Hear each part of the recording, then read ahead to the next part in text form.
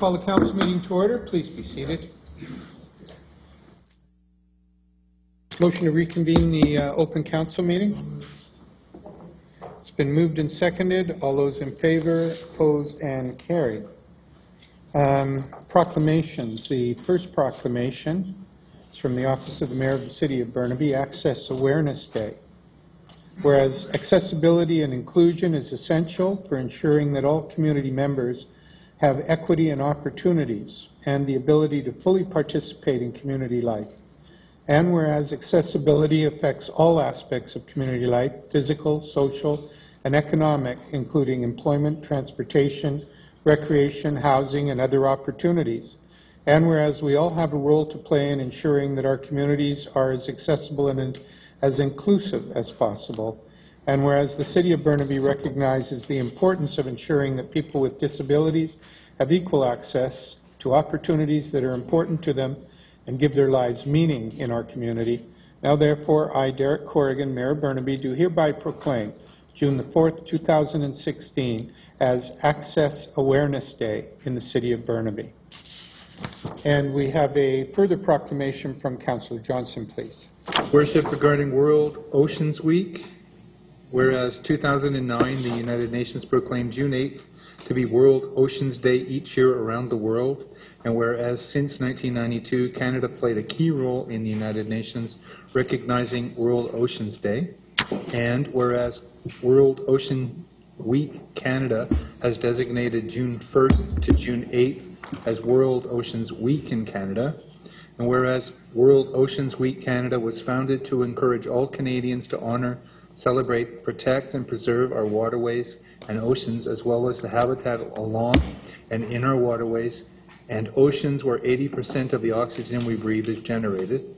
And whereas World Oceans Week Canada urges all Canadians to take action to conserve water, preserve waterways and shorelines, reduce emissions, reduce their carbon footprint, and protect habitat along, in, along and in our waterways.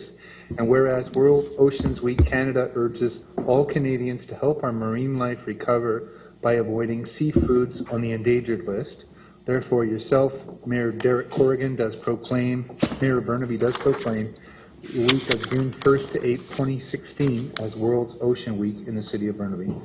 And Thank encourage our residents to actively conserve, preserve, and protect our waterways, oceans, and habitat. Thank you, Councillor Johnston. A motion to adopt the minutes of the open council meeting held on May the 16th, 2016. Been moved and seconded. Is there any discussion on the minutes? Seeing none. All those in favor, opposed, and carried. Motion to hear the delegation. All those in favor, opposed, and carried. And the delegation is Ms. Jordan Croft, and it's in regard to allegations of animal mistreatment. Ms. Croft, please come forward.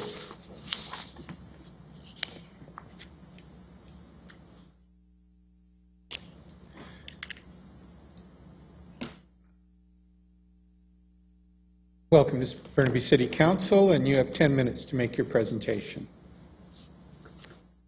Good evening, Mayor Derek Corrigan and Council. My name is Jordan Croft, and I am the founder of the Pet Habitat Project campaign. While visiting the pet store located in Metropolis at Metrotown last April, I was appalled at the conditions and the fact that we're still allowing puppies and kittens to be sold in pet stores, and so I went home and created um, this project that evening. I sent in a petition late last year that um, had 270 signatures. And this, today I have another petition to present to you with 460 signatures. My goal and the reason I'm here today is to have the sale of puppies and kittens banned at Pet Habitat by having a city bylaw created. I created a Facebook page and I have 895 followers. I held a protest outside Pet Habitat on February 21st. I was out there for two hours with 10 strangers who have contacted me from my Facebook page to help support my cause, and we gained 170 signatures just by standing outside the store. Um, I would just like to state that, that Section 446 of the Criminal Code of Canada claims that everyone commits an offense who, being the owner or person having control of a domestic animal, willfully neglects or fails to provide suitable and adequate food, water, shelter, and care. Along with that, there's the Burnaby Animal Control Bylaw 1991, and the regulations for pet store operations are to, uh, three main points I'd like to point out, are to not display a dog or cat for the sale in the store for more than 12 weeks. Enclosures are sized to provide normal movement, and animals be provided with all necessary care to maintain their safety, health, and well-being. Um, recently, while in the store earlier this month, I noticed that they had dogs that were born in early November, which means that they would have come into the store at the end of January, so they have been there for quite a few months now. Um, the sized enclosures do meet only minimal standards, and they essentially look like fish tanks with only minimal air ventilation. Um, this is not suitable for a puppy or kitten. There's also, it brings their mental health into question. While I was there in May again, um, I noticed a puppy trying to escape. He was brought out into a larger caged area for viewing by people, and he got out of that. And most dogs in that situation, surrounded by other people, would be excited and want to say hi to people. This dog made a straight getaway for the door until an employee essentially tackled him and put him back where he belonged. Um, these puppies are left alone overnight. Um, the employees claim that they are brought out to exercise, but their play area is only a section behind all the cages. Uh, they get no fresh air. They don't have space for exercise. Um, they don't get enough human contact. Most of that is just people tapping on the glass that they're in. Um, I have worked for a reputable breeder for two years, and I've worked in doggy daycares, and I know that that is not a suitable environment for a puppy. Um, in regards to the council report, the SPCA inspection of pet habitat in January uh, did conclude with a bylaw violation, a failure to provide veterinary care.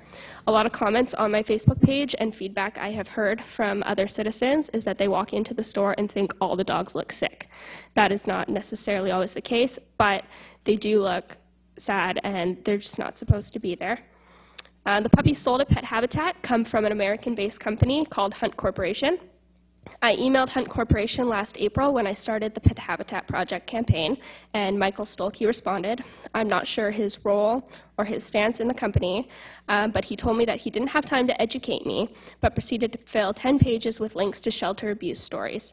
He did not answer any of my questions and was very condescending. I have a copy of that email for you if you would like to see it. Uh, Mr. Stolke stated that I was welcome to come see their facility instead of, and I quote, sitting in a comfy chair making my allegations. This was a passive-aggressive response, and since Hunte Corporation doesn't actually home any of the animals itself, it's a wild goose chase to actually locate and inspect where they are all coming from. Pet Habitat claims that their puppies come from a reputable breeder, but Hunte Corporation is far from that. They are essentially the middleman between the puppy mills and pet stores. The reality is that a reputable breeder is selling to customers and homes directly. They're not selling their animals to pet stores. Uh, during my protest, when speaking with Ernest, the owner of Pet Habitat, he told me that without puppy and kitten sales, his store would not survive. Uh, that is not necessarily true, as pet stores such as PetSmart stay in business with no puppy sales, and in fact, they have recently started to adopt out cats rather than kittens. Um, the price range for puppies in pet habitat is generally 2,000 to $4,000. When a puppy is there for too long, it gets advertised for a price just under $2,000. Most purebred animals from a reputable breeder are around 1,500, maybe a little less. No animal is normally sold for that high of a price. Uh, Richmond banned the sale of puppies in pet stores back in 2010. Toronto followed suit and became Canada's second city to create a bylaw against this.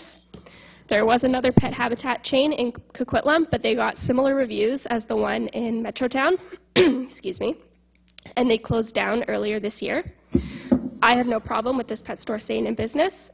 I just don't think that they should be able to sell puppies and kittens, and that's why I'm proposing a bylaw, and I'm using them as an example. Uh, in conclusion, a pet store is not a suitable environment for a puppy or kitten, excuse me, regardless if current regulations are followed. We should be encouraging people to buy directly from a reputable breeder or adopt instead. The selling of puppies and kittens in pet stores perpetuates the puppy mill industry. The likelihood of pet habitat and other pet stores getting their very high as reputable breeders sell directly to families. With all the recent SPCA seizures in the lower mainland, it's just proof that we need to one by one break down the cycle. Not only are the puppies most likely coming from a mill, but once they are in the pet store, they are confined in an inadequate environment that severely decreases their quality of life. Thank you, Mayor Derek Corrigan and Burnaby Council for giving me this opportunity today. Well, thank you very much, uh, Ms. Croft, for making your presentation to City Council and for all of your uh, personal interest in this issue. Uh, Councillor Dhaliwal, you have a question or a comment? Yes, uh, Your Worship, thank you very much. Ms. Crofton, thank you for making the time to be here. Um, Appreciate uh, your persistent diligence, uh, just on behalf of the animals, obviously. Um, Question for you, do you still work with the uh, a breeder uh, uh, of animals? I do not. I am right now pursuing my career in youth justice. Uh, this was when I lived in Grand Forks. I am still in contact with this, um, with my So you Uh, don't- employer, though. You're not, you're not a beater yourself? Not You don't currently. work for beaters? Oh, okay. Just wanted to make sure that was uh, clear. Um, I agree with the presentation, and, and uh, you know, we have gone through a a bylaw review a couple of years ago. That was the result where we made some changes, and some of these things were, were with the intentions of making sure the animals were at least somewhat comfortable during the time they stay there. But it does appear to be that, that the store is negligent here and there, as you can see from the report. Have you received the report? Uh, No, you might not have seen this report, but we have a report in front of the council. Do you have a copy? I do, yes. Okay, so, you know, they, they were fined this year earlier, but that's just one uh, fraction. But we never know whether, you know, the times when, uh, how, how the, the animals are, uh, are looked after. I do believe that uh, the, the space they provide, the animal is not adequate. It, it isn't just enough, doesn't matter, because the space is so limited in these stores, they can't really provide adequate space. And, and, and since they're not always open, they can't always give the care that a breeder can provide. So I, um, I personally believe I, uh, that, that it is uh, uh, not necessary uh, for the pets to be sold because they're available from reputable breeders who look after their animals mu- much better. They're better raised animals have, uh, as they grow, they generally cannot, uh, they don't have that kind of a, a stress that they're living with because that's very important. So, so I, I support your, your um, uh, petition to the city. And I imagine um, uh, some down, sometimes down the road, the council will probably take another look at, at the review, at the bylaw, animals bylaw, and- and we will discuss that again uh, to see whether the time has indeed come to uh, to ban sales of kittens and puppies. We'll continue to monitor in the meantime, and I just want to say thank you for being here and, uh, and see how um, we get response from uh, public as part of this, uh, your presentation. And uh, and based on that, we'll, we'll take the next steps. Thank you. Councillor Jordan. Again, and thank you, Ms. Croft, for your persistence.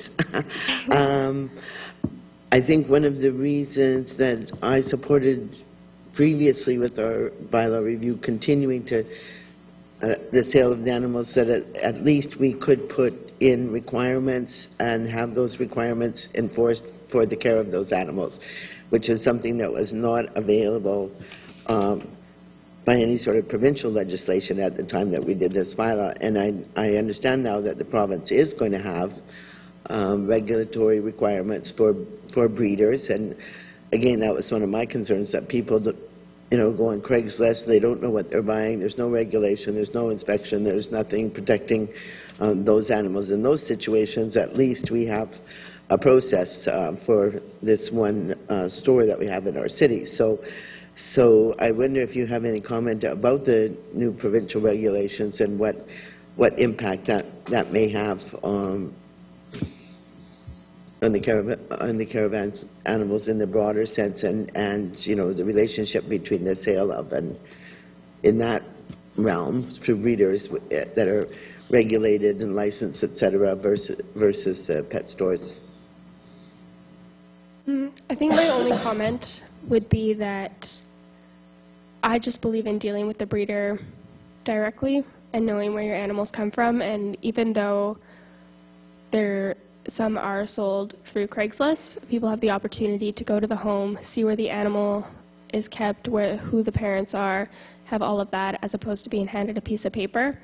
Um, I know Pet Habitat does provide the information, but it's again, it's information they can't stand behind because they don't get it from a breeder themselves like they claim to. They get it from Hunte Corporation, and Hunte Corporation is an American-based company. And when I spoke with them, he didn't seem to realize what store I was talking about or that I was in Canada, and that kind of concerned me. He was mostly focusing on American. So it's just hard to know exactly what they're in business with. And I believe that I just, I just don't think the pet store is a suitable environment no matter what you do. They need to be outside. They need fresh air. I have a friend in Maple Ridge whose mom breeds animals, and she only breeds her. Uh, she bred her family dog three times and then had her neutered before she was um, too old, and she didn't want to overbreed her. And the puppy's already like less than two months old, and they're outside. They're getting fresh air. They're socialized with, e- with each other, and they're growing up to n- know what it's like to be in a family, not in a box. Thank you. Councillor Johnston. Thank you. Uh, Thank you for your presentation. Um, I uh, strongly support the uh, elimination of pet stores um, for for dog dog and cats. Um, I know um, myself, I used to go into the store at Metrotown to pick up, uh, or and others, to pick up um, supplies, dog food, toys, whatever. And when you see the the puppies sitting in pools of urine, that's pretty disgusting. I mean, you can tell some of them have been there for quite a while. Um, Councillor uh, Jordan's comment about uh, the regulation, I think that's, that's great. I think there already is some, the- some of the, uh, the kennel clubs, the American Kennel Club, Canadian Kennel Club, they have, require the breeders to keep genetic information on, on the dogs that they're breeding. So I think that's a real positive too. Um, I can't say it takes a bit more than two of us to make a change to a motion, to a a bylaw, so uh, we'll have to see what others have to say, but I, again, c- uh, commend you for coming today, and thank you. Thank You, Councillor Volkow. Well, I got in late on this one, but uh, I just wanted you to expand a little on, you you made a comment about, uh, you were referencing the criminal code or something about displaying animals in shop windows or something? What what what were you, what what exactly were you talking about there? Sorry, I quoted the criminal code of conduct, and then I also quoted the regulations for pet operations as of the current bylaw in state by Burnaby, and that was that puppies are not to be displayed in a store for longer than 12 weeks. So, and that's in the council report that I got as well. And when I was there, I saw puppies that were born in November, and they come right when they can, which is eight weeks of age. So if you look at that, one born in November 9 would have came early January. So already it's been there for over the time it should be, but during that SPCA investigation in January, they wouldn't have known that. And, uh, yeah, So so that's our regulation, that's the, that's... That's yours, yes. That's our regulation about the length of time that a, that one dog can be displayed in Yes. public view in the window there. Yes, and it also raises a concern. Um, I and other customers of the store, well, sorry, I'm not a customer, I've never bought anything from there, but citizens in the area have asked employees what happens to an animal if it's not sold, if it is there too long, and all the employers have to say is that's never an issue, they're always sold. And I had someone come up to me and tell me that uh, he noticed a few puppies who had been there for quite a while, and then one day they were all just gone at the same time. Well, again, thanks for uh, clarifying that for me, and uh, it's funny how this issue has evolved over the years. I remember years ago, one of the most popular songs, I think, was Patti Page. How much is that doggy in the window? Now we don't even want the doggies in the window, so, so, uh, yeah, your persistence is uh, exemplary, and I, I agree. I, you know, I think the time has come where, unfortunately, the, uh, the provincial government maybe wasn't completely uh, fulsome in the regulations they brought in in order to be able to stop, you know, puppy mills using intermediaries like Hunte Corporation and then bringing the animals in here. should have brought in a more wide-ranging uh, provincial legislation, so.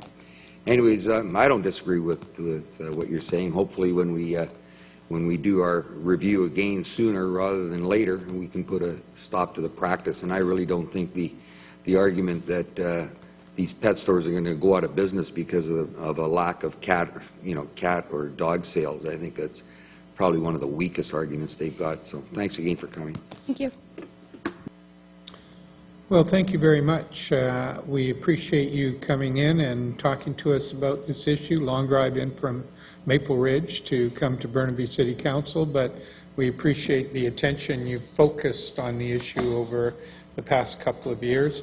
I think that uh, everyone around the council table is concerned about ensuring that animals are treated properly in our city, whether it's animals that are kept by our residents or animals that are put up for sale through the uh, stores like Pet Habitat, or whether it's our treatment of animals as a city through our SPCA. So we're very conscious of that issue, and uh, I think in the initial stage, very much council was looking at ensuring that if there was access to sale of animals through a pet store, that it was regulated and that we were careful about uh, exactly how it was conducted.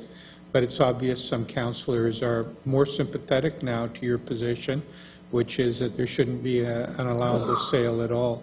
I uh, was talking to one of the councillors earlier and saying that uh, there is a great desire still for people to be able to own pets, to own dogs and to own cats. And in fact, my son and uh, daughter-in-law um, got themselves a dog, and uh, that dog was imported from California. Um, more and more, we're seeing dogs being brought in from Mexico, from all over the world into Canada, which is, again, another issue that I think all of us have to be aware of, is that we're not necessarily breeding enough animals or even turning in enough animals to support the people who want to have pets here in, in Canada. We're, in fact, uh, importing um, refugee dogs and cats to Canada to try to provide um, the animals that people are seeking. And, uh, and so it, it is interesting that, in fact, this has been the way, the development of the way uh, we're, we're dealing with this. And I think part of it, I remember when I was a kid, is that almost everybody had a cat that was having kittens, and they were trying to give out kittens to everybody else in their neighborhood.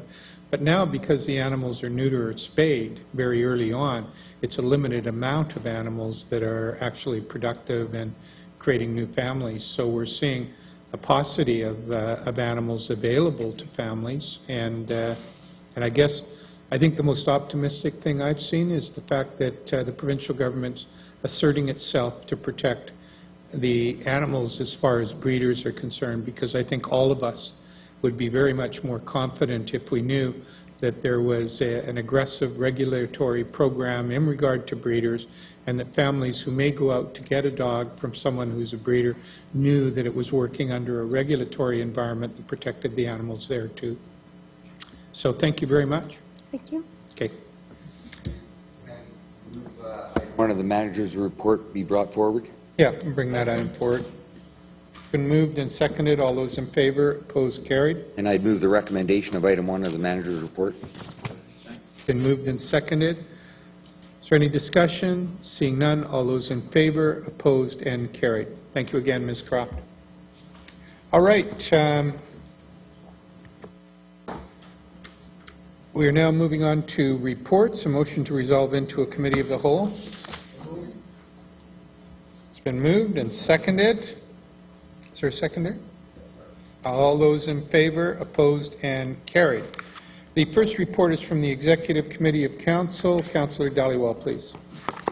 Thank you, Your Worship. Uh, On behalf of the Executive Committee, I move the following recommendations. Number one, 1620 is uh, is a grant in the amount of 28000 to be awarded to Burnaby Community Services for core programs and publications in 2016. It's been moved and seconded. All those in favor, opposed, carried. 1626, that a grant in the amount of $17,000 be awarded to Burnaby Family Life and Sport of services provided by the organization. Moved and seconded. Seeing no discussion, all those in favor, opposed, carried. Number 1627, Recommendation, first recommendation is that a grant in the amount of $1,000 be awarded to the Montecito Elementary School for travel expenses for Team Odyssey of the Mind members to participate at the World Finals on May 25, 2016, in Ames, Iowa. And, and sorry, in the second is a grant in the amount of $1,000 awarded to the Buckingham Elementary, uh, Elementary School for travel expenses for Team Odysseys of the Mind members to participate at the World Finals and on the same date, May 25, 2016, in Ames, Iowa. It's been moved and seconded. Seeing no discussion, all those in favor, opposed, carried. Item 1628, uh, that an in-kind grant for a green fee waiver up to the amount of 1200 be awarded to the Burnaby Civic Employees Union for the CUPE Local 23 Open Golf Tournament on June 4th at Burnaby Mountain Golf Course. Been moved and seconded. All those in favor, opposed, carried. Item 1629 is a Crisis Intervention and Suicide Prevention Center for BC. Your Worship, the recommendation is that this grant request be denied. Moved and seconded. Discussion. All those in favor, opposed, carried. 1630 is that a grant in the amount of $1,000 be awarded to Burnaby Girls Soccer Club U15 Blaze for travel expenses for 11 Burnaby players to attend the Provincial B Cup Tournament on July 7, 2016 in Penticton. Been moved and seconded. All those in favor, opposed, carried. And item 1631, Burnaby Districts Youth Soccer Association, Your Worship, uh, the committee has requested that this matter be referred to Parks, Recreation, and Culture Commission for, for consideration. Been moved and seconded. Discussion. Seeing none, all those in favor, opposed, and carried. Thank you very much, Your Worship. Councillor Dhaliwal. Financial Management Committee, Councillor Johnston. bylaw, I would move that council authorize staff to amend the solid waste and recycling bylaw 12875 as outlined in section 2 of the report. Your worship, the uh, report, um, council will remember a few months back, uh, the city uh, initiated a process to initiate the legalization of secondary suites. The report that's before us this evening uh, um, sets up some recoveries for some costs that are related to that. Right, you ready for the question? All those in favor, opposed, and carried. Next item, your worship, regarding uh, 2016 engineering capital infrastructure traffic management. I would move that council approve the capital expenditure of 2.071 million for roadwork capital improvements as outlined in the report, and that council authorize staff to bring down the capital reserve bylaw in the amount of 2,167,800 inclusive of GST to finance capital projects as outlined in the report. These are for traffic management capital items. LED street lighting conversion phase for 2017 is in order. The lights this year so that installation can happen in early 17. This will also allow the third phase to qualify for a BC Hydro grant. Questions called. All those in favor, opposed, carried. Uh, Next item, your worship, uh, also regarding engineering capital infrastructure, I would move that council approve the capital expenditures of 962000 for vehicle acquisitions as outlined in the report, and that council authorize staff to bring down a capital reserve bylaw in the amount of 1,007,000 inclusive of GST to finance capital programs as outlined in the report. And your worship, this, this is uh, for two new excavators and two new tandem axle dump trucks that will be equipped with a blade and sander for winter snow clearing operations. They'll provide each of the water and sewer construction crews a dedicated excavator and dump truck to improve construction, especially close down at the end of the day, and to reduce reliance on hired equipment. Questions called. All those in favor, opposed, carried. And next, your worship, uh, regarding also engineering capital infrastructure, I move that council approve the capital expenditure of 1.465 million for road work capital improvements, and the council authorize staff to bring down the capital reserve bylaw in the amount of 1,533,500 inclusive inclusive of GST to finance capital programs as outlined in the report. Your worship, these are uh, 2016 projects uh, as to the provisional capital budget. Uh, These are now updated bylaw funding requests based on the detailed design and the increased scope of some projects, the early birds that are coming in with higher prices due to a busier construction market, and we're experiencing a 20 to 30 percent increase in bidding prices. Houses, uh, the cost of, of uh, real estate in Greater Vancouver is driving up everything in relation to uh, the pricing of good. That's not good news. It's not. All right, all those in favor, opposed, carried. Also, your worship, regarding uh, engineering capital infrastructure, I would move that council approve the capital expenditure of 771570 for water and sewer infrastructure programs as outlined in the report, and the council authorize staff to fund from the Waterworks Capital Utility Fund the amount of 12100 inclusive of GST, and to fund from the sanitary sewer fund the amount of 795500 inclusive of GST to finance capital programs as outlined in this report. This is uh, also to update the provisional capital that was raised in December to account for some scope changes in relating to co- additional costs we were we're get- getting from BC Hydro. All right, all those in favor, opposed, and carried. And then lastly, your worship, uh, 2017 Engineering Capital Infrastructure Bylaw, and this council approved the capital expenditure of 4.615 million for infrastructure programs as outlined in the report, and the council authorized staff to bring down a capital reserve bylaw in the amount of 3276300 inclusive of GST, and draw from the sanitary sewer capital fund in the amount of 811300 inclusive of GST, and the waterworks capital utility fund for the amount of 743200 to finance capital projects as outlined in the report. And your worship, this is, uh, this is for additional um, projects in relation to uh, engineering projects such as pump stations, uh, sanitary sewers, and various small ticket items. Questions called, all those in favor, opposed, and carried. Worship, is being worried that we're not meeting again next week or anything like that, or? I don't know, he blew through $10 million pretty quick there. Engineering week. You wanted detail, you wanted engineering reports just as long as planning reports, you're getting them.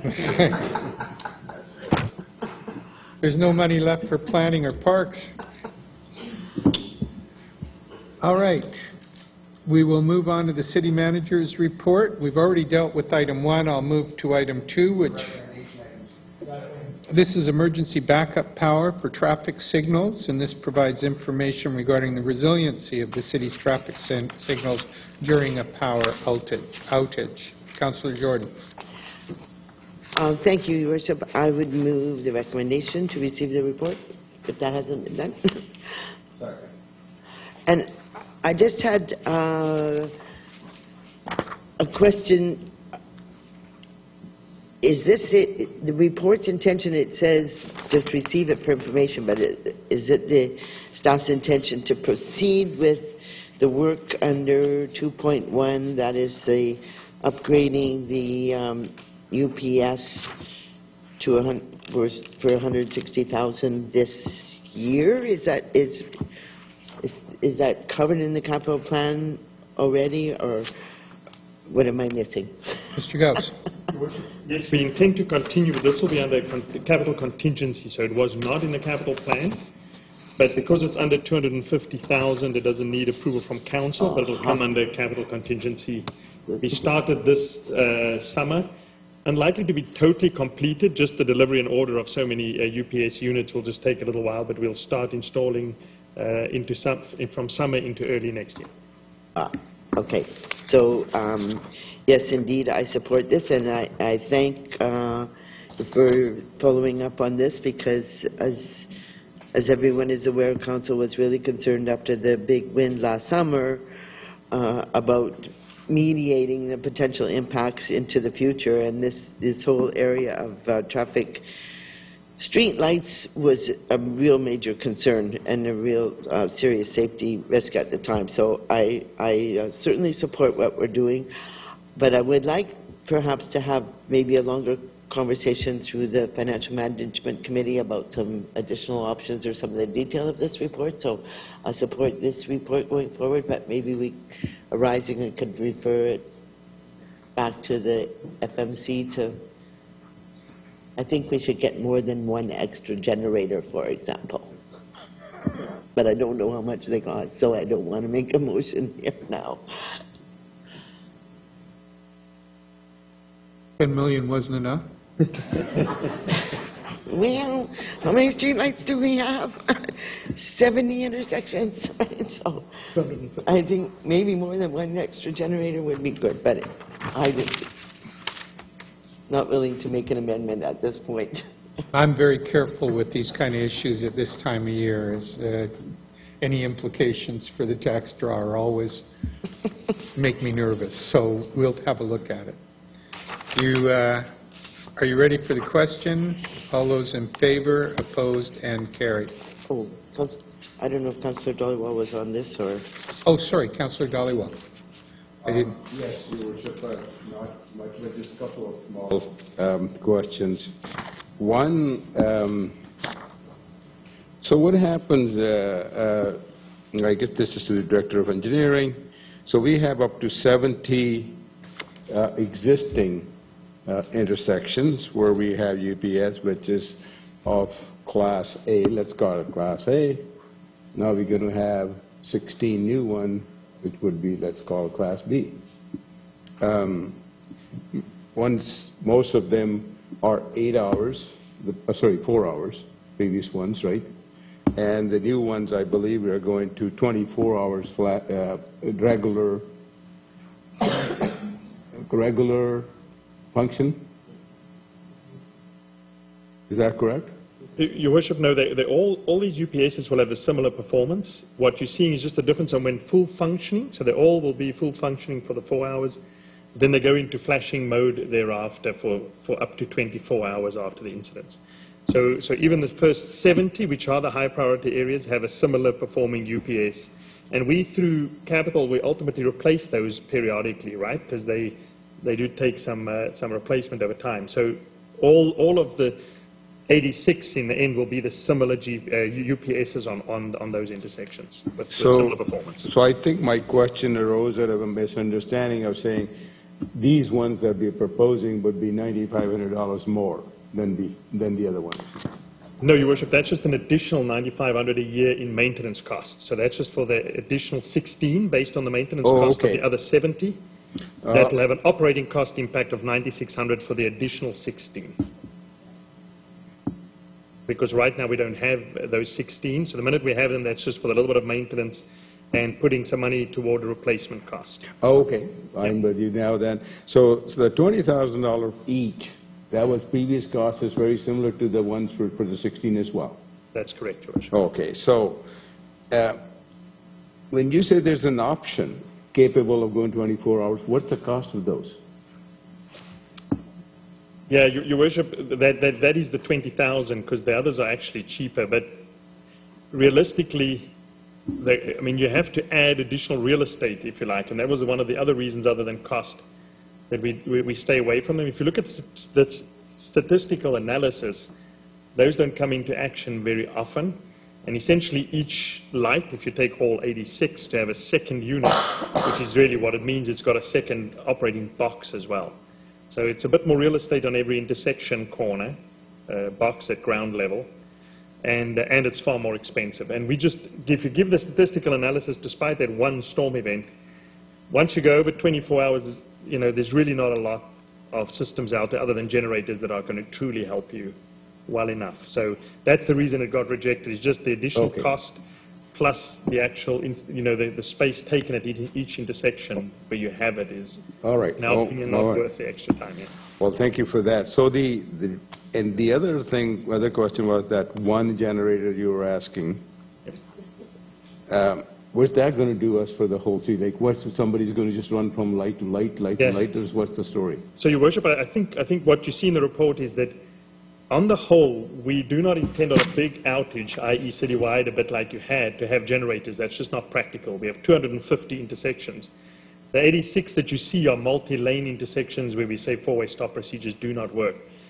We really, if you think of operationally, when, when we have such a big outage to go fill 86 generators with gas while you're trying to keep buildings running and all the rest of it is really not a good operational procedure.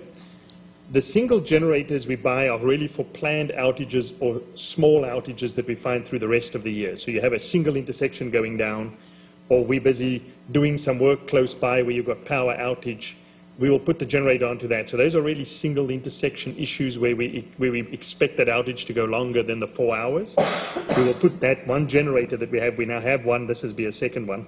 We use those for single event or single intersection outages that we expect to go longer than the four hours. And that can be maintenance reasons or a, a point outage. But we certainly do not recommend that once you go to any wide outage to try and cover that issue with generators. It's just not practical. All right, but I think the issue that uh, Councillor Jordan was asking is that, uh, well, we have one, would having a few be a little, a little more cautious in regard to having outages maybe at one or two or three places at the same time? We know we can't cover with generators all of our lights, but there may be reason for you to consider additional capacity in the future, and uh, that issue, I think, is properly with financial management to be able to look at the, the issue. And uh, the broader one of how long we should uh, extend this is one I think uh, you should sit down and have a talk with the Financial Management Committee about that issue too, is, you know, what is the, the best practices in regard to cities looking after um, emergencies and, and trying to protect themselves against emergencies. I know that uh, we've often had that issue arise that we don't have that good a snow clearing equipment because we typically don't have that much snow. And so keeping equipment for an extended period of time means that we're going to have equipment that isn't properly utilized and we're not getting the worth out of.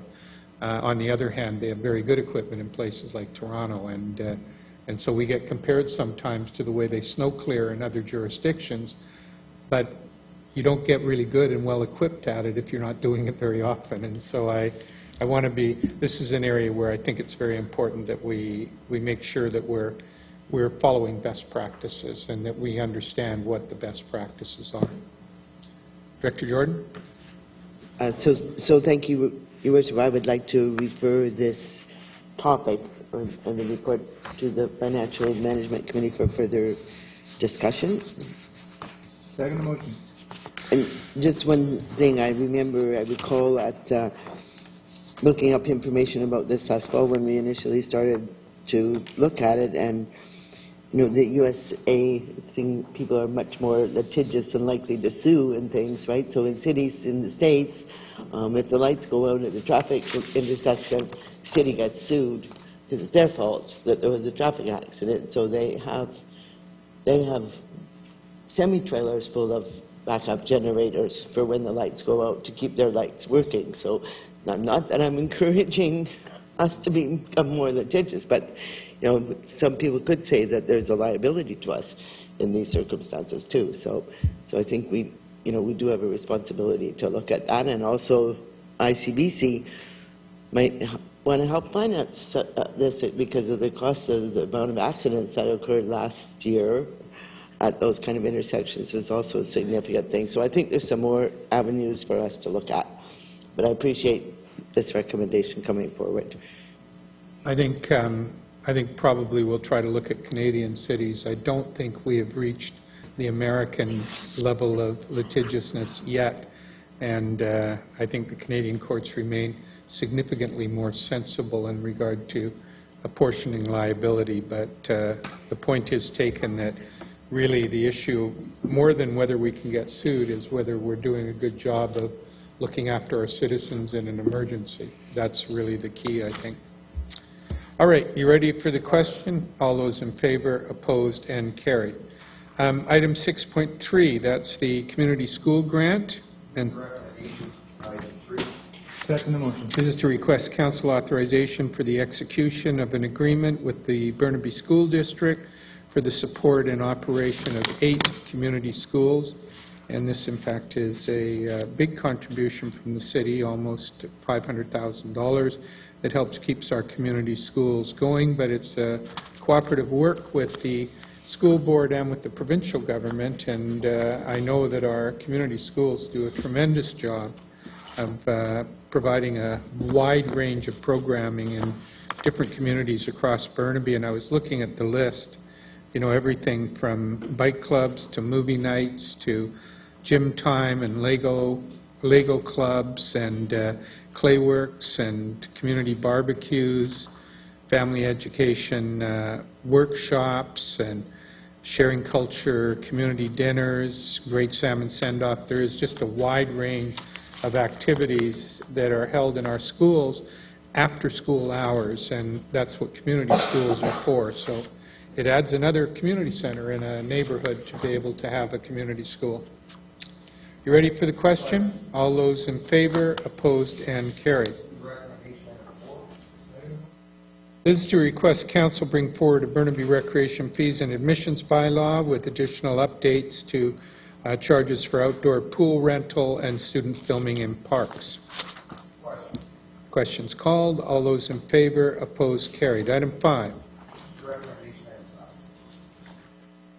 This is to request council bring forward a bylaw to appropriate $421,830 from capital reserves to finance four projects in Parks, Recreation, and Cultural Services. Questions called. All those in favor, opposed, and carried. Um, Item six. This is a request that council bring down a capital reserves bylaw in the amount of $392,500 to finance three projects. Questions called. All those in favor, opposed, and carried. Item seven. This is to obtain council approval to award a contract for civil engineering consultant services to assist the city in developing a stormwater and flood analysis program for the Big Bend area. Question. Seconder, please. All those in favor, opposed, and carried. Item eight. Well, This is a good one. This is the Willingdon Linear Park, and this is to obtain council approval toward a contract for the services of a civil engineering consultant to assist in the design and construction services for the Willingdon Linear Park. Questions called? We're on our way. All those in favor, opposed, and carried. Item nine. This is to obtain council approval toward a contract for the civil consulting services to design and provide construction administration services related to the Fraser River Foreshore Dike Reach 8 project. Councillor Volkow. Uh, No big question on it, but uh, uh, I, I'm always intrigued by these reports, especially the report that's come to Metro Vancouver in regards to uh, potential future flooding. But what exactly is Dike Reach 8? Where is this? That's, uh, That's going from, uh, I'm just trying to think where my, so you're going upriver really. We we started further downriver and each reach has just been an annual program as we've moved upriver. These are one of the last ones actually before we can close off the area, at least that from our, our area is a concern.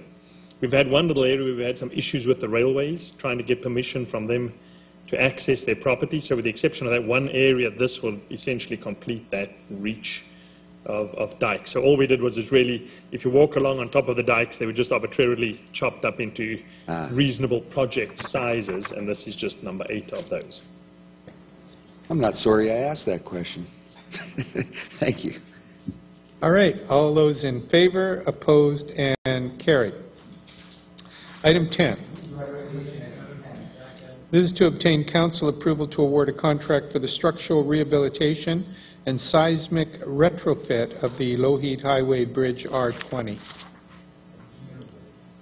Councillor Dhaliwal. Your worship, just wanted to know what's R20, Bridge R20. Where is it? Must be somewhere that I don't see, but what's Bridge R20? Where is this? bridge? Mr. Gous? That, that is a good question. It's just past Gaglardi. So going toward, uh, uh, you know, toward uh, the, the Port Mann Bridge, just, just past Gaglardi Road. Oh, yes. Yeah. There is a bridge, after all. I was trying to figure all night last night, where is the bridge on Lougheed Highway? Well, now we know. There you go. The R20. You ready for the question? All those in favor, opposed, and carried. See, you get to learn something every time you come to council. Item 11. This is Combined Sewer Separation Package 6, the Albert Lane. And this is uh, to award a contract. You ready, ready for the question? All those in favor, opposed, carried. Yeah, seconder. All right, now let's, okay, this is, okay, we're going to go back to this, is that we move it, we second it, then you can call the question, okay? I don't know, I've lost control. All right, uh, item 12. This is to obtain council approval to award extensions to two contracts for the supply and delivery of Portland cement concrete. Question's been called. All those in favor, opposed, and carried. And don't be asking why we're getting our concrete from Portland. Item 13. This is a two ri- two high-rise apartment towers with ground-oriented live-work townhouses in the Brentwood Town Center plan, and this is authorization to forward to a public hearing on June the 28th. Second motion. Councillor Jordan. Just briefly, Your Worship, uh, I was interested to see in this um, particular proposal uh, another new twist from what our planning department has managed to negotiate with the developer, and that is in exchange for some relatively small one-bedroom units, the developer has agreed to increase the number of larger two-bedroom and three-bedroom units in the, so we have the, basically the same square footage in the tower, but we have some smaller one-bedrooms for affordability, and, but also answering the uh, call for additional three-bedroom units for families. So, so an- another creative solution, so we're not legislating, you must have 10%, you know, three bedrooms, but we're working with the developers to come up with a variety of options for the kind of accommodations that people are seeking. So, so I think that's a, a novel thing, and uh, appreciate the work that was done towards that, and the architect and developer agreeing to go along with that. So we're going to have 36, 26 three-bedroom units in this buildings. And that's um, a subject I've talked to the uh, development community about on a number of occasions because it, uh, it also reflects their changing marketplace. Um, They are saying that more and more families are choosing uh, high-rise development to raise their families and looking to, uh, to have two-bedroom units and uh, three-bedroom units to to be able to house a complete family. So it is a a real difference and one that um, even has been accommodated by putting two regular units together by some people. So it is a change, and uh, I think more and more people are now seeing um, the high-density living in town centers to be good for their families as well for, well as for individuals and, uh, and people who are empty nesters. So we're seeing a change. You ready for the question? All those in favor, opposed, and carried. Item 14. This is the installation of a rooftop antenna facility, and this is to forward to an app- a public hearing on June the 28th. Questions called. All those in favor, opposed, and carried. Item 15 is uh, rezoning applications. I think we are going to be on individual items on this one. So we don't get to move them anymore as a, as a package.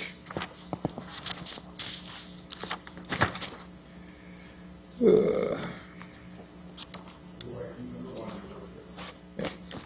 All right, uh, let me catch up to you right here, is that item one is 4350 uh, Still Creek Drive, and this is to permit installation of a sky a sky sign on the west building of an existing two-building office complex.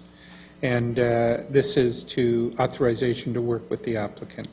All right, you ready for the question? All those in favor, opposed, carried. Item two. This is 30 th- 3737 Canada Way, 3748 North- Norfolk Street, and abutting lane right-of-way and Esmond Avenue Road right-of-way. This is construction of a low-rise apartment development, and this involves the sale of uh, city-owned land, a highway closure bylaw, and authorization to work with the applicant. Questions called. All those in favor, opposed, carried. Item three. This is uh, 7447 and 7453 14th Avenue. This is to permit construction of a townhouse development with underground parking, and this is to uh, send to a neighboring property owner, and also authorization to work with the applicant towards a suitable plan of development. Questions called. All those in favor, opposed, and carried. Item four. This is from R3 Residential to R3A Residential uh, District. This is uh, 4095 Edinburgh Street, and uh, this is to allow a greater floor area on the particular piece of property due to a larger size, and this is to continue to work with the applicant towards a suitable plan of development. Questions called. All those in favor, opposed, carried. Item five. This is construction of a three-story townhouse development with four units at 420, 422 Delta Avenue, and this is authorization to uh, work with the uh, applicant and also to send a notice to 4908 Hastings Street. Councillor Calendino. Thank you, Your Worship. Uh, Just a question to start through you. The area on Hastings uh, east of Bethel generally RM3, um, sorry, RM2, right? And this is moving down to RM2 or RM1? Let me read carefully. Um, areas are in three mostly. It's RM3, right? Yeah, but- And they're asking for RM2, which is a downgrading. of- Is that because the lot is not large enough? It relates to the size of the lot for RM3 versus RM2 development. Okay. So if uh, there is uh, the other lot next door that we had here about four or five years ago, which had a commercial area in the ground floor, which never actually developed. The building is rented, the- the- I think it's 4809. Um, That has also a a half-empty lot next to it. If uh, there was a consolidation of the two, then they could have an RM3? Through your your worship, I'd need to confirm the lot areas for the two lots that they met the minimum, but if they did meet the minimum of the district, then it could go to RM3. The minimum would be what? Minimum is uh, 17,976 square feet. And This current one is about 9,400. Yeah. So if the two are equal in size, then it would meet the minimum. And does staff know whether this uh, developer has approached the uh, owners of 4908 for purchasing to consolidate? Yes, they have. And- And no success? Not as yet. All right. You ready for the question? All those in favor, opposed, and carried. Item six. This is 9050 University High Street, and this is to uh, permit a 50-space childcare facility, and uh, this is authorization to work with the applicant. All those in favor, opposed, carried. Item seven. This is a portion of 7550 Rosewood Street and 7126, 7210, 7216 Mary Avenue, and this is to permit development of a new seniors complex care facility and a future seniors mid-rise apartment building, authorization to work towards a suitable plan of development. Questions called. All those in favor, opposed, carried. Item eight. This is 8940 University Crescent, and this is to permit development of a 13-story, multiple-family residential building with two-story townhouses at its base, and this is authorization to work towards a suitable plan of development. Questions called. All those in favor, opposed, carried. Item nine. This is 4828 and 4874 Lougheed Highway. This is to permit the construction of two high-rise buildings atop the underground and structured parking as Phase uh, 1B of the Woodlands site development. This is authorization to work with the applicant. Questions called. All those in favor, opposed, and carried. That completes the city manager's report. A motion to rise and report. All those in favor, opposed, and carried. Motion the uh, report of the committee be adopted. All those in fa- in favor, opposed, and carried. Um, Oh, I didn't deal with the deferred matter. Does council want to deal with the deferred matter tonight? You ready? I think it's on table. It's been deferred to, uh, to this council meeting. Was it moved at the last meeting? It was moved it and then tabled it. All right, so it's been moved and seconded, deferred to this meeting. It's now before you. Are you ready for the question? I'll- Oh, sorry, Councillor Just, Johnston? just briefly, briefly, your worship, we didn't, I didn't mention uh, much about it last week. Uh, This is, uh, uh, a report would authorize the establishment of pay-by-phone parking in the city. Uh, We would look at the ability of, of, similar to some of our neighboring municipalities where you can uh, actually use a, an app on your phone that would enable you to, uh, to um, pay, pay for your parking as opposed to having to have uh, loonies or toonies in your pocket to put into the, to the meter. All right. Councillor Dhaliwal. Thank you, Your Worship. Uh, uh, Just first of all, question, are the recommendation in front of us, Your Worship, the report? Yeah, it is. Oh, okay, thank you. Um, I, I can understand, Your Worship, the, the thrust of the report. It's been 18 years since uh, the rate's been reviewed. Uh, A lot of things have changed, our costs have gone up, and I believe uh, the traffic patterns have changed as well. So I think it's a good time to review. I, uh, I do have uh, uh, some sympathy for changing rates because I believe it's a tool that's used to, to manage uh, the the length of time parking is, is, is reasonable for a neighborhood. It's also uh, pays for itself for us installing the meters, clearing meters, et cetera, and, and also make some money for the city. Uh, But most importantly, it's in response to the businesses in the areas where these meters are located. Uh, So I, uh, my question, my, not question, my concerns with the report, Your Worship, is uh, two, twofold. One, the, the rate itself, while it needs adjusting uh, to $2, is, is, is bit high for the entire city. Uh, Because we believe there are some areas which are utilized, some are not utilized properly, but more importantly, there are some places where we don't think it's appropriate to raise rates that much significantly, and there may be some areas in the cities where I think this, I would urge the staff to really take a closer look, rather than a blanket change to two dollars first, and then worry about see where we shouldn't. I'd rather see the rates stay but introduced to two dollars only to the areas, or dollar fifty, as the report says, could be any combination between one dollar to two dollars, I believe. If it is, then it should be to see where it's warranted to go to $1.50 or two dollars, which isn't clear, I believe, at this point, although that's the route that the, the staff wants to take. But I think it's important to leave areas like Burnaby Hospital and some other sensitive areas to where they are now before we add anything to it. And I believe that's where the report is going, although it isn't uh, particularly uh, indicated in this report. So I like to have that one, first of all, um, understood and, and clarified with the staff that minimum, currently $1 rate's fine, but when you go to two, good deliberations before, rather than saying, let's start with two, and then see where we should really bring it down to buck fifty, depending on the use of it. That's how I read this report.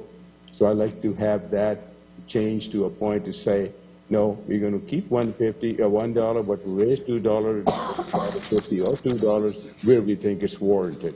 So take time to, to decide that. I'd be, I would be supportive of that. The second part, which this report really is called Payphone Parking Program. And, and that too is also, uh, I think, warranted. Uh, Many cities have gone to that. There's a demand for that.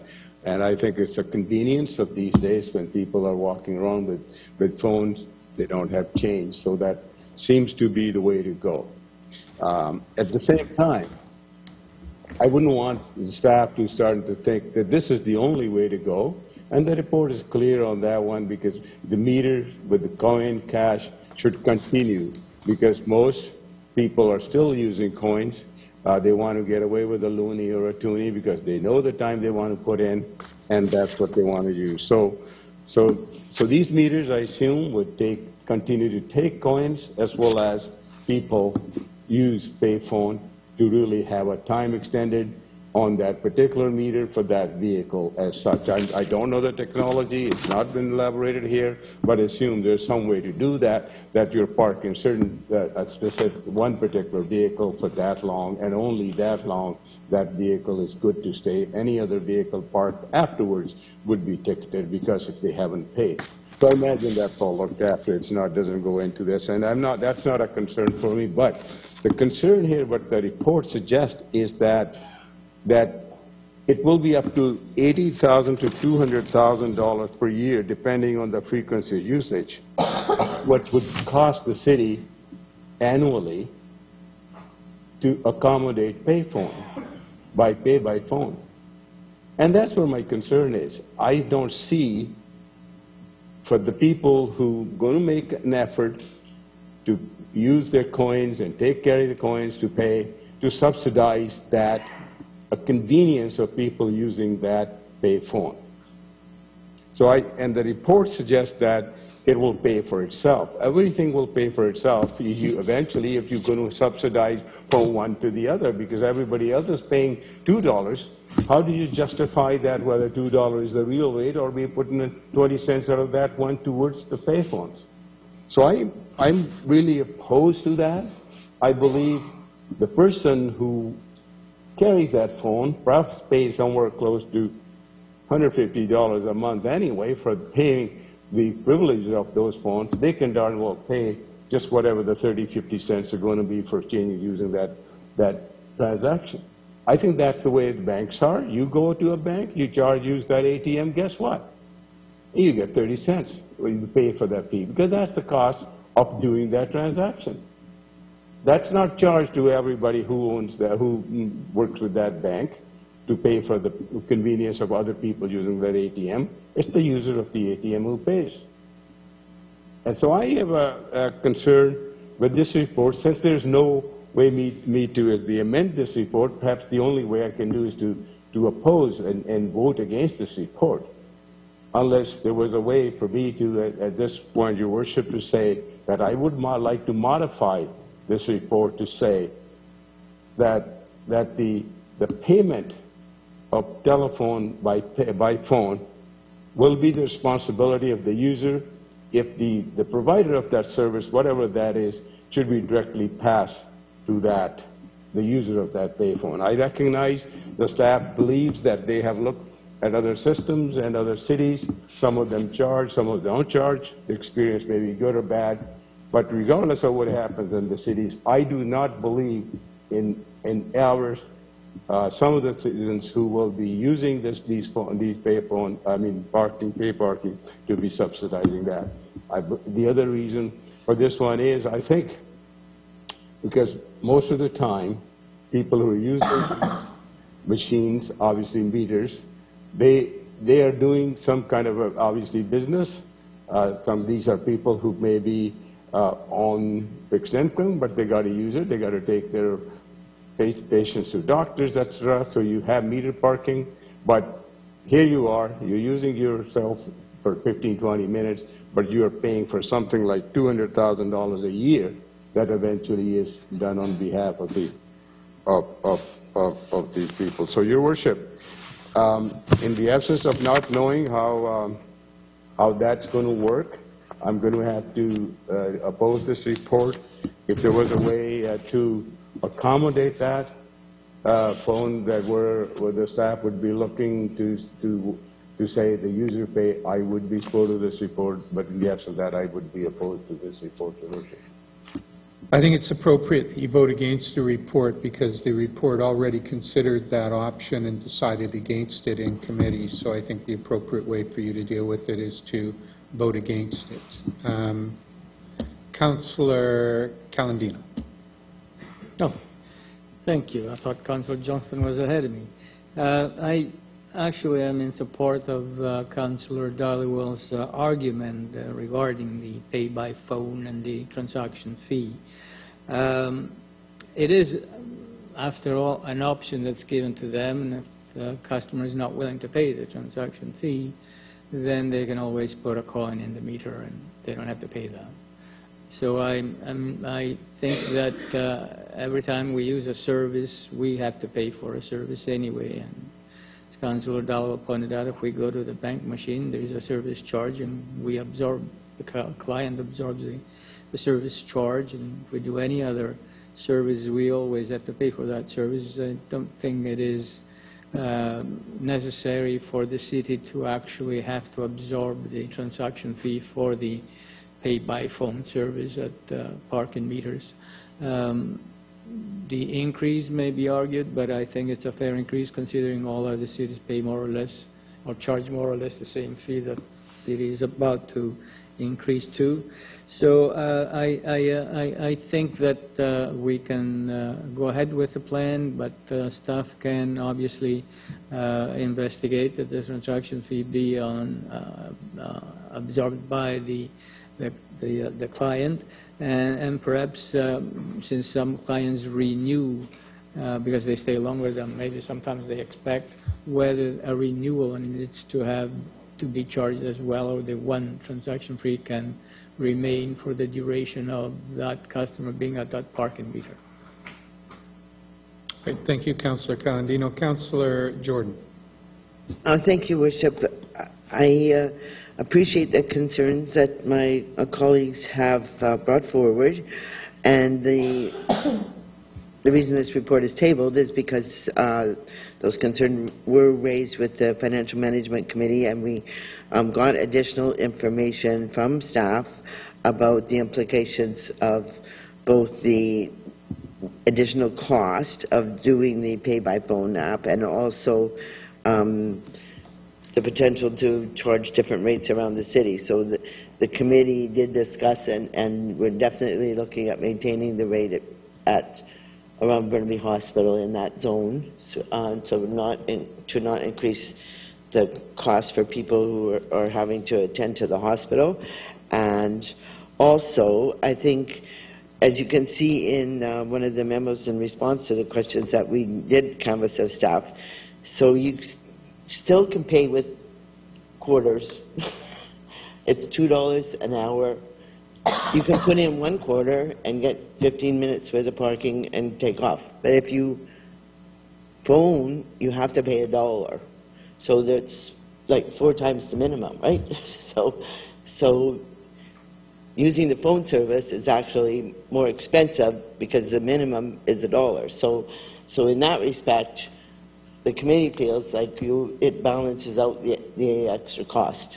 And also, the experience in other cities has been that, for example, if you go to the parking meter and put in your toonie, um, so you've got an hour, and you leave before the hour's up, someone whips in and gets, you know, the space that you've left behind on the meter. But if it's pay by phone, the meter doesn't tell you that there's any time left on it. So somebody drives in and puts in more money in the meter. So in fact, the city could actually gain money out of that, that meter because two or three people could pay for the same amount of time. So, so the, that's the experience um, that other cities that have, have gone to the pay-by-phone have had, and so I think it's very reasonable that, that the committee have a look at this after it's been in place for a year and balance out and see whether or not, you know, we're co- recovering those costs, and then I'm sure we'd be pleased to look again and say, well, if we're not uh, recovering additional costs of what the program offers, then put, the option about a, a cer- having a surcharge is always there, because I don't want to be subsidizing this either. But I think we should give the program a chance to see what, if indeed it does turn out that we do take in additional revenues and enough to cover the cost of the program. Thank you. Councillor Johnston. Just, just one last comment, Your Worship. Uh, People that will pay by the uh, pay by phone app will find, will get a reminder notice prior to their parking expiring. So if they are, in fact, going to take longer than what they bought the parking time for, they'll be reminded, and encouraged to uh, actually buy more time. So in fact, that will actually addition, add additional revenue to the city. In the, in the fact that sometimes there's people sitting with expired meters, and we can't have uh, um, ins- bylaw inspectors in every, in every meter, so the fact that there's the reminder that the meter's expiring, we're actually going to, I think, make some additional revenue. And I'd like to have less tickets, which is always good. Because I, tickets are never a pleasant experience for the city. Uh, People think it's uh, revenue generation, but we'd really prefer that they simply paid the money at the Oh, you bet, you bet. Um, I have Councillor, oh, no other council, oh, Councillor Wang. Yeah, I uh, support these uh, recommendations. I even use this uh, uh, pay by phone uh, in Vancouver all the way back to 10 years ago, which is very, very convenient. So I'm so surprised, you know, in uh, in Burnaby, we haven't used uh, this pay by phone so far. It's kind of uh, strange to me. So I think it's uh, technology bring a lot of uh, convenience. Now the people use the apps, you know, which is more convenience, you know, just like a uh, they mentioned about, you know, they can remind you and you can do it very quickly and you can add the more money. Just uh, whatever you are, you know, you can just do this uh, through the phone. So I think technology, we cannot reject this, you know. I fully uh, support this, uh, this recommendation. Thank you. And uh, I will note on the first item that staff have the ability to be able to, to set the rates right down to a block if they choose to do so. So uh, they'll be able to look at where the rates should appropriately be set at the maximum and where there may be a, a lesser rate, and I'm sure they'll exercise good judgment in that regard. But certainly the committee has indicated that around Burnaby Hospital is an area where we should look at maintaining the existing rates. All right, uh, are you ready for the question? All those in favor? Opposed? And we have Councilors Volkow, Calendino, and uh, Dhaliwal opposed. The uh, motion passes. All right, and with that, um, moving on to bylaws. Councilor Volkow. And for first, second, and third reading, I would move that bylaws numbered 13610, 13611, 13612, and 13613 be now introduced and read three times. Moved and seconded. Is there any discussion? Seeing none, all those in favor, opposed, and carried. For third reading, reconsideration, and final adoption, I would move that bylaw numbered 13148 be now read a third time, reconsidered, finally adopted, signed by the mayor and clerk, and the corporate seal affixed thereto. Moved and seconded. All those in favor, opposed, and carried. And for reconsideration and final adoption, I would move that bylaws numbered 13343, 13471, 13608, 13609 be now reconsidered, finally adopted, signed by the mayor and clerk, and the corporate seal affixed thereto. Been moved and seconded. Discussion, seeing none. All those in favor, opposed, and carried. All right, uh, are there any inquiries or new business? Councillor Jordan. Oh, thank you, Your Worship. In the, in the purple pages, the very, very last one, uh, item J, I think it is, oh, item I. Uh, a lady who says she's a building manager at a, a Cassie Avenue uh, rental building. And I wonder if I could have staff follow up with her. She's she says that there's something strange going on in the neighborhood. There had so many applications for rentals in their area, but she doesn't kind of give much other information about it. And I, I'd like to find out, like, what's she getting at? oh, So if you could just sort of follow along, follow up with her and see what why don't you refer it to the uh, Community Development I Committee? was and- wondering, but we we just canceled our meeting tomorrow, so I'm just, could, if they could just get I'll back ask to her. staff to, uh, to make contact and then report back to your next meeting. Yeah, thank you, I appreciate that. All right. All right, uh, is there anything else? Seeing nothing, all those, oh, we're ready for a motion to adjourn? All those in favor, opposed, and carried. Thank you very much, and no meeting next week is, uh, the FCM is on.